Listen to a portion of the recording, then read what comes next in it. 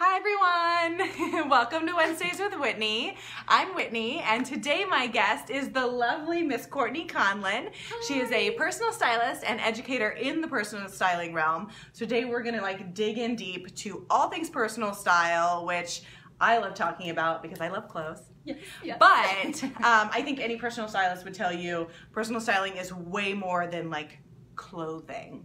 Like that's that's the a final product, but that's not the whole process. Yes. So awesome. Absolutely. So um, we usually start with how Courtney and I met, which was super fun because I saw her name pop up. She was one of the very first people to sign up for my very first unapologetically extra. Best thing I ever did, by the way. Ah! Best so, thing. so, which I and she's you probably seen her face because Courtney's been on quite a few of my unapologetically extras, and I love how you use them with and for your business. So, can you talk a little bit about that? Because I know that you really plan out. Like when you see the unapologetically extra location, you're already thinking about how you're going to use it. Can you tell me a little bit about that? Definitely. I always say when you're styling yourself or being styled, think first about the venue or the mm-hmm. location that you're going to be in. Yep. And from there, it's all about what are you going to feel most confident in that fits to that location Yep. and the shoot Yep. overall. And the vibe The of, vibe. of what it's going for. So, our first one together was the gravel pit. Yes. which was such a neutral kind of abstract Yeah. thing and what i It was. loved that courtney did and how she showed up was i mean first of all you were wearing that bright red jacket Yes. i will forever remember this bright red jacket and then you really thought through bringing an accessor like accessorizing Yes. so you are like the queen of sunglasses and hats so can you tell me like when you're picking out an outfit like what are the components especially for a shoot like that that you would bring along always think, as you mentioned, about um, accessorizing it and Yeah. options. It's all Yeah. about options because Mhm. not only does that allow the person being shot, but it also allows like you, Whitney, Yeah. the the photographer, to Yeah. say, okay, now let's shoot with this hat on. Yes. So we do without and with. If you come to a shoot with a hat. Yeah. Don't come with it on. Do the without first. Thank you. so Thank your for hair's not that. all, you know, jacked Yeah. up. Yeah. Um, and then throw the hat on or the sunglasses or do an earring change out. Uh, it's it's all about accessorizing or having options, but doing it right. Yep. And and maximizing that time. Mhm. So a lot of people, even though when they think unapologetically extra, it's 15 minute sessions, right? Super Yes. quick. yes, But for me, any any of you that have shot with me, 15 minutes is a long time as far as like what we can get and accomplish. So what I love is Courtney, you come so prepared that you know, with your personal styling blog and all of the advice you give, you can talk about a hat, you can talk about sunglasses, you can talk about a jacket, you can talk about shoes. Mhm. And she we do some with, some without. And I just love how you think through leveraging that yes, time and space and i think that as we talk about so your your world is personal styling my world is personal branding and so so much of personal branding is style but like that point of view yes, that thinking through it and how and i think we have just such a strong crossover and like Mhm. i call it unapologetically extra but i think that it's kind of like your closet realm too is like let's get let's get unapologetic about what's in there right, yeah, yeah. can you? I think I think the idea of a personal stylist is kind of scary, personally. so tell me, like, when somebody is seeking you out, what are some of their pain points? Like, what are some of the things that people are like, I am stressed, and what what are they saying Yeah. to you? Oh yeah, Mhm. yeah. I, it can be anything from weight loss, Yeah. uh, seeing the clothing of, of, of years gone by and, Yeah. and our past sitting in our closet. It can be divorce. Mm-hmm. It can be going into a new job um, opportunity, a new field. Not knowing exactly what to wear to that Oh, scenario. Yes, yes. Interview prepping, uh, loss in life. Uh, Yeah. it, it's it's a vulnerable place. Our closets, correct? Because they do hold a lot of past. we were just talking about that. and I'm, I'm very good at, at, at teaching you how to we, we can move on or kiss that Yeah. goodbye or Yeah. um, It- it's not a moment that we have to stick to, whether it's and I think um, Courtney and I have just done a ton of work together over the past three months as we've been getting to know each other. And something that I love that you said is um, sometimes our closets don't even feel like our own when we've Right. gotten so far away. So say we've had a dramatic change in our body, and Mhm. like you look in your closet and you're like, I don't recognize myself in any of these because nothing Right. feels good. right And I think Right. that creates the epidemic of saying like, oh, I have nothing to wear. the truth is that might actually be the truth. Do you find that? Yes. When people okay, can you talk to me about Yes. the I have nothing to wear mental complex?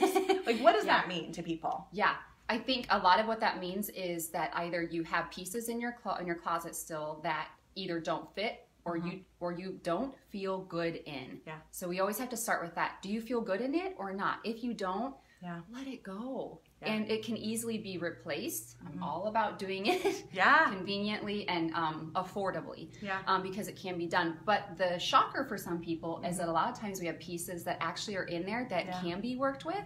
And so let's find a way to work with them. And Yeah. if we need to pull in a few new pieces, we can do that to to create that versatile, convenient, non-overwhelming wardrobe. well, and I think something that is getting very popular, and I think people are finally getting on board with, is that less is more. yes, Having Yes. less in your closet that you're committed to is more. absolutely. And so I get that comment a lot if people are like in my closet, they're like, You actually don't have a lot of clothing. And I'm like, Yeah, you're right. you should be Um, proud of that. I, I'm really proud of it, but I am a constant purger. Like I am a so um I'm gonna butcher her name, the art of tidying up. The oh, I just watched her yeah, new show. I haven't watched it yet, but I'm You like. I, I listen to her while I fall asleep at night because um, if you haven't listened to her audiobook, Marie Kondo. Co- Kondo? Kondo. Kondo? Kondo. Kondo? Okay. Yes. So I listened to her book as I, and if like, if it doesn't bring you joy, and clothing is one of those things where it either brings you immense joy, Yes. like you put it on and you're like, Yes. hi, that Yeah. happened. Yeah. Or I'm like, I am a failure. Like, is that something that can happen to? I mean, I cannot be Oh, alone yeah, in the sense that, like, sometimes I put on clothes and I'm like, wow, that went poorly.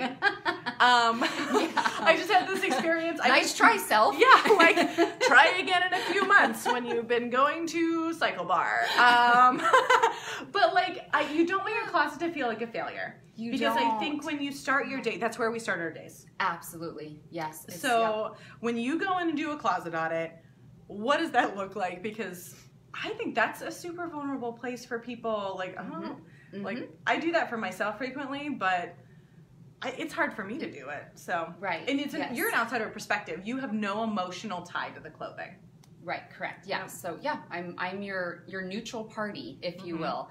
And uh, it's like it's kind of like working with a family member. Uh, so when I'm with you, I'm going to not only be honest, but we're going honesty. to have hey honesty. Um, but it's going to be done. We're going to have fun with it because you're going to feel more comfortable. Yeah. Um, we, whether it's weeding out the past. I mean, we were just talking about uh, the the closet my ex built. I had a client Yes. recently where a lot of the pieces were it made him think of his ex. Yeah. And so that's not healthy at the end of the day because it wasn't um, Um, positive for him. It wasn't No. positive. And it doesn't even mean that the clothes are bad. It just meant that Right. we have so much emotion tied to what we wear Yeah. because of memory. oh, definitely. Well, and. I think about that with photos too. It's like I may not feel good about that photo because I remember what happened before and after it, not even during.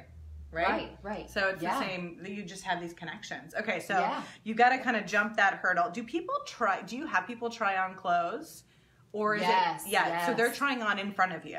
They, what? Okay. Yes. So we or do not like, okay. but you know. yeah, it- yeah, yeah. I mean, you know, privacy. But I, like, I prefer you to go in the bathroom when you change.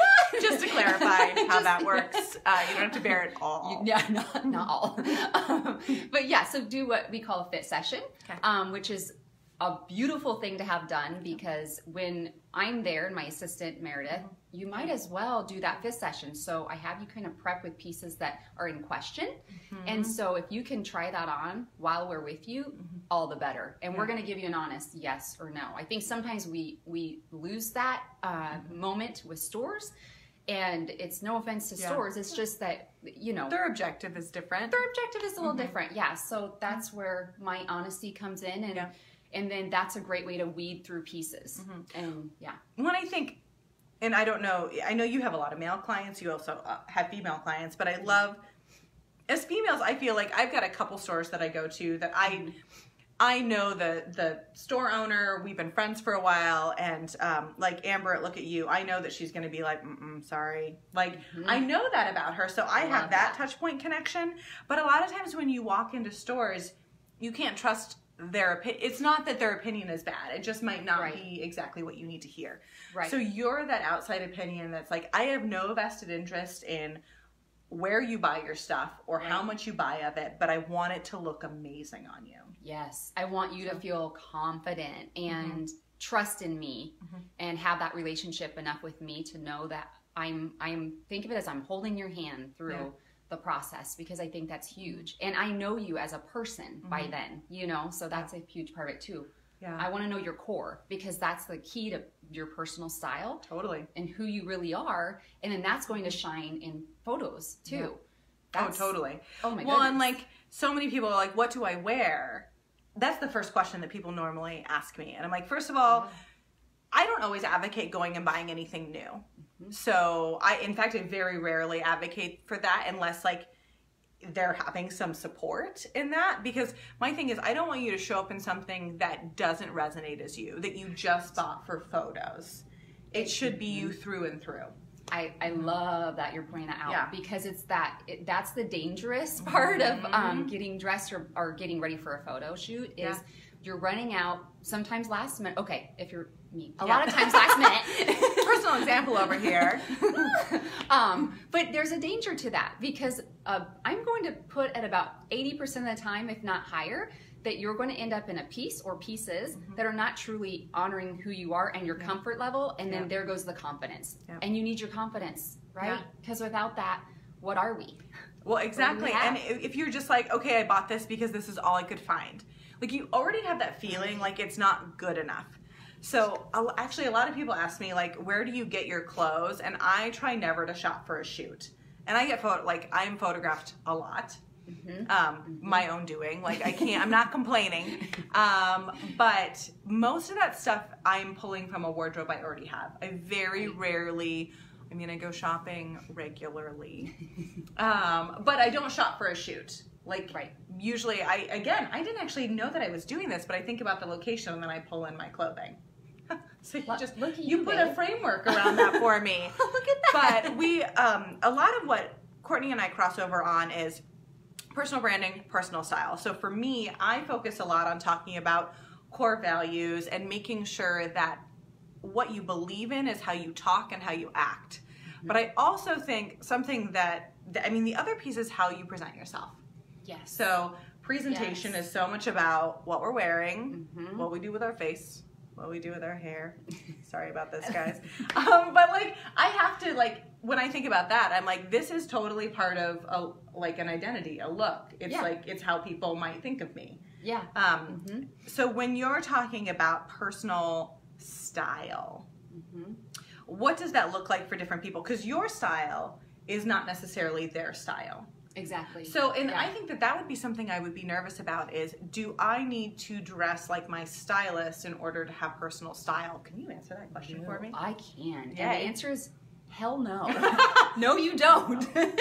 because the core, again, is it's tapping into what motivates you, Mhm. what things you enjoy, what whether it's clothing, fashion, but just Yeah. what are your hobbies in life? What's your lifestyle? Or what do you have to do in those clothes? what do you have to do in those clothes? so for me, I need to always be able to shoot in it and then go to Ah. dinner afterwards, like a nice dinner. Like I have to be able to do both those in the same outfit.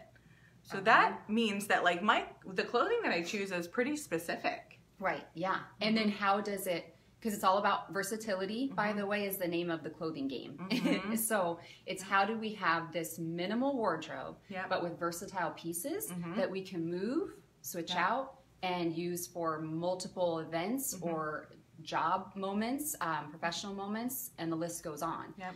So yeah, that's that's a big One when what I notice about how you dress is that you usually are wearing like jeans, black pants, a neutral top, and then there's some accent piece. mhm. So I would describe your style as like neutral with something something that's just a li- pushes the boundaries just a little bit. That's just your statement piece. You always have on Yeah. one statement piece, Mhm. but it's not everything's not a statement. yeah.